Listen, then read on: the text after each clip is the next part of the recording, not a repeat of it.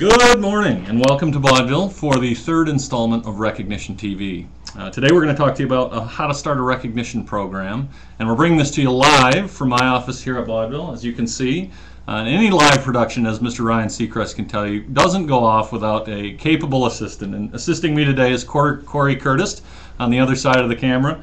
Uh, our PR coordinator and social media maven. And Corey, uh, we're bringing this to you live because we want interaction with you guys. We're hoping that you guys uh, uh, bring some questions to the table that we can uh, attempt to answer and uh, uh, have this be more of an interactive discussion. So uh, first and foremost, we want you to, when, when, when you think about starting a recognition program, we want you to remember that this is easy stuff. It doesn't, you don't have to get overwhelmed by um, creating a, a wide-reaching program. Starting simple, just getting started is, is the first step.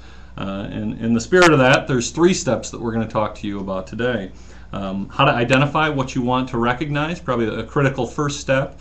Um, deciding how you want to recognize, what tools you're going to use to implement that recognition. And then lastly, how to start recognizing. So uh, before we get started, you're going to see a poll show up here or here, uh, somewhere over here, um, to, to kind of get a, a, read on the audience's uh, level of recognition that they're, uh, um, that they're currently doing. So uh, let's get started with, uh, with first discovering what you want to recognize. And I think it's important to start with um, taking stock of what you're doing today. I think some people will be surprised that they're doing more than they think. And if you sit down with a by yourself or with a group of managers or others and try to write down okay what are the things we do? We do have a year-end event. We do do some anniversary awards. We do do um, you know corporate lunches around goals. Uh, try to capture what you're doing and really what behaviors those uh, acts of recognition are are geared towards and then think about where the gaps are. So there's probably some things that you're doing a great job of recognizing, and then there's other things, behaviors that, that maybe aren't being recognized, and that can be a great place to start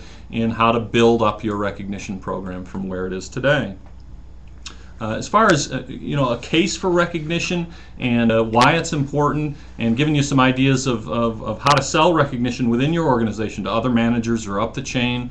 Uh, we have some great tools out there. One of them is our, our a white paper that we have uh, out there on how to motivate, engage, retain, and excel. And this is a white paper you'll find uh, in the Recognition Resource Center uh, of our website for download. And it can be a good kind of thought starter as far as uh, why am I doing this, why is it important, and give you some ideas of how to get started. I think it's uh, it's it's important when you think about what you want to be recognizing to be really specific about um, the behaviors you're trying to uh, reinforce. And a good place to start is with your core values, your mission statement, other guiding principles that your organization much, might have. Uh, great recognition programs are often linked back to uh, the corporation's vision, mission, and goals. And if you, uh, by taking stock of what you're doing today, discover those gaps discover maybe some relationship of those things to your core values, uh, you'll often you know make the, the job of deciding what you recognize want to recognize very easy because often those things have already been defined. Uh, here at Baudville we have core values and uh, those are captured in the word inspire uh, which is integrity, nurture, share, perform, innovate, respond, and excel. And so when we sat down and looked at some of our recognition programs, we discovered we weren't we didn't have a program that was specifically targeted at our core values. Uh, we also discovered that a lot of recognition at Baudville was top down. It was managers giving recognition to employees, um, and that, that that's a, critical part of any recognition program. But when we, we started looking at core values, a lot of those things were th attributes that, that maybe managers weren't always going to be present to see. And so what we really decided to do was to implement a peer-to-peer -peer recognition program built around our core values. Uh, we call that program Shoutouts. Uh, we have kind of a version of that product uh, here today. That's really simple, just just small notes, kind of a to and a from line, an area to write uh, the behavior that that, uh, that is being recognized, and, and, kind of the thank you note. we see at Baudville a lot of people really decorate the exclamation point creatively, and then these things get posted here on a common um, on a common bulletin board. So um, some some people can choose to give these directly to the person who's who they're wanting to recognize. But at Baudville, we wanted to kind of put those out for all to see, for everyone to know that uh, Jenny in accounting made uh, had a great day or a great achievement. And so uh, oftentimes you'll see sort of the viral uh, aspect of that recognition. Uh, the person who's being recognized doesn't know until someone comes and says, "Hey, I saw that shout out. Uh, great job on that project." So the peer-to-peer recognition and then displaying those for all to see at Baudville is a great way uh, for us to tie our core values back to a recognition program. Another one of my favorite examples outside these four walls is a recent, uh, the 2007 uh, winner of, uh, um, by rec recognized by Recognition Professionals International as Best in Class Recognition Program was MGM Grand International. Uh, and of course, you guys all know MGM Grand. They've got a big hotel and casino out there in Las Vegas, and uh, they really tied their uh, recognition program back to their core values as well. They had six core values and 16 service standards, and they do some really fun stuff. Obviously, they have a pretty cool place that they can hold recognition events, but they bring in corporate leadership on a monthly basis to recognize people who are being, are really exemplifying uh, those core values. So in defining your recognition program, take a minute, figure out what you're doing today, look at your core values and your mission and goals, and really define what, uh, uh, how you can link any new recognition programs to those goals. Before we move on to uh, how to how you want to recognize, if you guys have any ideas, uh, things that you're struggling with, values at your organization, or recognize behaviors that you want to recognize that you're kind of struggling with drawing a link into uh, some sort of a program, uh, why don't you type those things in, and we'll we'll uh, we'll circle back to those at the end of the presentation. Brad, before you keep going, I have some poll results. It looks like a majority of the people joining us, 56%, are looking for some new ideas for the recognition program. And the rest of people um, either don't have a program or they're doing service awards. And some people have tools, but they're just not practicing recognition right now. So that's kind of where we stand with our attendees. Great, and that's that's probably like uh, uh, all of us have that kind of uh, uh, desire to refresh things from time to time, and I think with recognition programs, it's particularly important to um, to, to step back and revamp, realign, make sure those things are meeting uh, their original intended objective, and and freshness and newness also reengages uh, the participants, the staff, and others. So likely the experiences being expressed there are not that different from organization to organization. Certainly, we experience those same things. Now moving on to how you want to recognize. Well, this is the fun part. You get to dream up the ways in which uh, you're going to recognize. And as you saw, at Baudville, that shout-out program, we had a group working on that and brainstorming on ways to implement peer-to-peer recognition. Uh, but I think it's it's very critical to first ask employees how they want to be recognized. Um, you can do this in a variety of different ways. You can indicate that you're starting a new recognition program and you want to, um, to, to poll the audience, so to speak, for feedback and send out an email survey. Um, at Baudville, we, we try to do that at the front end when a new employee is coming in. Of course, everyone fills out a, an application as a part of, part of the uh, job process. But after they've uh, officially signed on and started, we actually have a, a kind of a different application, and it's, uh, it's a Tell Us About You form. Uh, and this has information uh, on a little more, um, I guess, informal level than a, than a, than a um, uh, an application, including their recognition uh, preferences, how they want to be recognized, ideas that they might have, hobbies that they enjoy, sports teams that they like, things like that, help give managers an idea of how to make recognition meaningful to the recipient. And uh, it also shows employees coming in that uh, you value them beyond uh, sort of the, the interview process, that you're interested in them as people and starts to set the tone, I think, the right kind of tone you want to set for new employees coming in the building.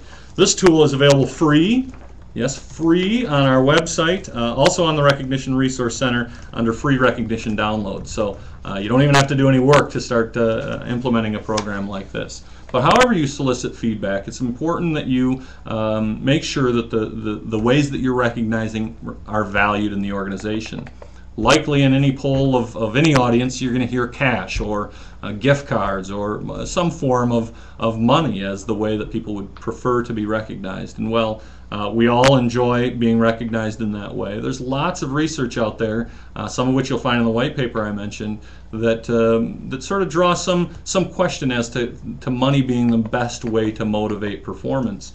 Um, we at Baudville like the power of a handwritten note. It really is personal. Um, you know, it forces the, the giver to, to really capture the essence of what they're recognizing, and, uh, and I think it's ultimately more meaningful to the recipient just to give you an example, I guess a, a hypothetical, uh, you know, if an employee does something great and they get a, let's say a $10 gift card to Starbucks, and I love Starbucks, but uh, uh, they're going to go and they're going to they're going to buy their latte, latte and, and their biscotti, and they're going to walk out and their gift card's going to be gone.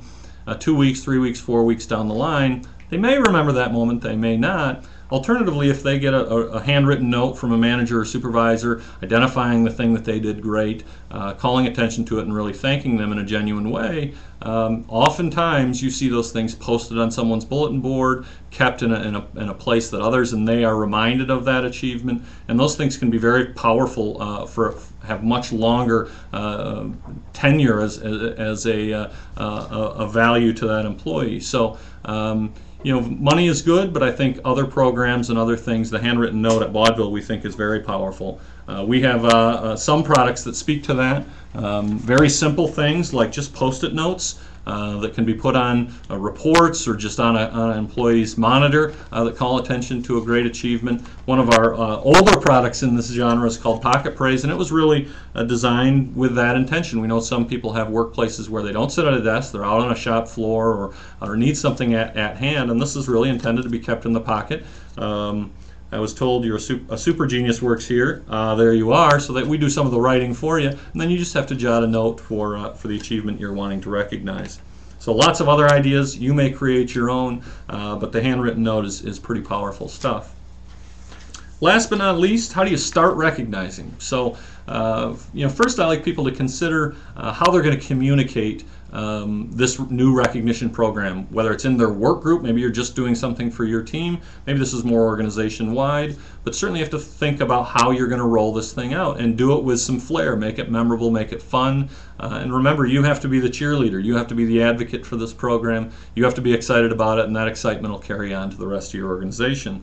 Um, one of the one of the biggest barriers we hear, and I have personally, I think everyone uh, with with relation to, to, employee recognition, is finding the time. You know, we have all these things and directions we're pulled from day to day, and how do you find the time to, to make this a priority? And I encourage you to use your calendar, whatever you're on, whether it's an old uh, paper calendar, on a PDA, on Outlook, on uh, Lotus Notes, whatever your preferred method is, and, uh, and carve out some time to make this a priority from week to week. It can just be 15, 20 minutes, uh, but that, that can force you to just be that reminder to, to actually uh, take it seriously. It's a part of performance management, it's a part of building relationships with employees, improving performance of an organization. So we find time for a lot of the other things, and this is just one more of those things that we have to make sure we prioritize. Um, you know, a recent uh, study of CEOs from Fortune 500 companies really drew some attention to this. In fact, uh, the CEO of Campbell Soup uh, had a 62% disengagement score uh, in his organization. Hard to believe you have you know, more than half of your staff disengaged. And he really uh, uh, imp- implemented a program, one of which was to write a thank you note daily. And they saw their, their uh, employee recognition and engagement really improve drastically over subsequently. Was it solely because of that? No, but there was an emphasis there, and it certainly had an impact. So however you find the time, uh, make sure you make it a priority. We have lots of other great tools uh, that can help be reminders kept front of mind on the desktop. Our Cheers kit uh, has a wide variety of little handwritten note items, gives you uh, kind of half of the words are written there for you, some of the creative stuff that our team brings to our products, and then you just have to jot the note and it leaves the uh, recipient with a, with a reminder. Uh, we have other programs from our Fantastic Manager, which is a little more robust program associated with pins. This is kind of the outcome. Uh, has a pen and a note card, and it has a book here that's got uh, a variety of pins. And you can also write the recipient's name and date so you can keep some record. So you'll find lots of other products on our website that can support your day-to-day recognition program or your new program. And you also can dream up some things of your own that that uh, that you can supplement with with other products. Corey, how are we doing on time? Well, we're doing great, but we have several questions from the audience to, to address first. The first question came in, and the, this audience member needs some help getting supervisors to use the tools that they have. What are some tips that they can give to those managers to help them be a little more proactive with their recognition program? Great. That is a, a, good question and a common one that we have around here. I think a good way is to, to, to have a regular uh, uh, opportunity to address that group, whether it's a staff meeting, a company meeting that you have, or a management meeting, and just make sure that, that leadership in your organization is reinforcing that this is important behavior. Um, if you have buy-in from the top and you can get that that message coming from uh, the leader of the organization or the department, that can help in getting everyone on board. The other thing you can encourage them to do is to, to make it a priority. Maybe you have to send an email out, you know, set yourself a reminder and send a weekly email out to the group saying, hey, have you guys, uh, um, you know, Friday morning, it's a great time to, to take 15 minutes to recognize. The other thing you can do is make sure they have the tools at the ready, on their desktop, not hidden in a drawer. Uh, arm them with the ways to recognize and it'll help bring down those barriers of, uh, of time and, and kind of remembering to do it. You also mentioned just now about getting management buy-in, and that was another question: is how do you get management buy-in to start a recognition program? That's a great question, and again, I think you if you arm yourself with the case for recognition and some of the uh, the history um, uh, of why this is important, things like the content you'll find in our white paper, but really it's it's there's a lot of it out there right now. A lot of leading publications are talking about uh, as the economy improves, uh, making sure you keep your star talent motivated and engaged, that there's a flight risk of your best and brightest. And so I think there's an issue that's very timely and time sensitive right now. If you spend a little time on a search engine looking for some, some, some uh, I guess, some porting evidence of the importance of it, you'll really be able to, to kind of reinforce that management buy-in. Okay, another couple questions address teamwork and how can you promote teamwork with a recognition program? Uh, teamwork is, it's probably one of the more popular themes you'll find among all the products in our catalog. It's certainly one of the things that we try to promote a lot, and I think peer-to-peer programs do a great job of supporting teamwork. Uh, you bring the whole team into sort of the recognition equation, so it takes the pressure off management to see everything that's going on within a team and really to try to foster that uh, um, you know uh, the, the high fives that happen within a team uh, through a peer recognition program um, so I encourage you to get get others involved in in recognizing and it'll make recognition of teamwork I think a lot easier Great. Well, that kind of concludes our questions, and we're at the 15 minute mark. So, Brad, you want to wrap it up? Sure, it's been great to be with y'all here live from Baudville in Grand Rapids, Michigan. So thanks to Corey for putting this together, and uh, and for all of you for joining us. We'll you'll find the content uh, uh, basically a summary on the blog of both the ideas that we shared and the products that we showed you today. Uh, and we'll also be following up uh, the, the closing of the loop here is to get feedback from all of you. So if you've ever bought something from Baudville, you know you get one of these cards in your order. It says we feed you and you feedback. Well, I can't give any Tootsie Rolls today, but uh, you'll be getting an email here shortly that'll ask for your feedback. And we'd like to continue doing this, um, not so much for us, but bring valuable content to all of you. So uh, this, this uh, How to Start a Recognition program was actually an idea from our last feedback survey. So we encourage you to uh, fill that out. Uh, encourage you to, to start working on your new recognition program. And uh, you can certainly email us at recognition at baudville.com with some success stories, challenges that you may have, and we'd be happy to, uh, to hear from you that way. So thank you and have a great day.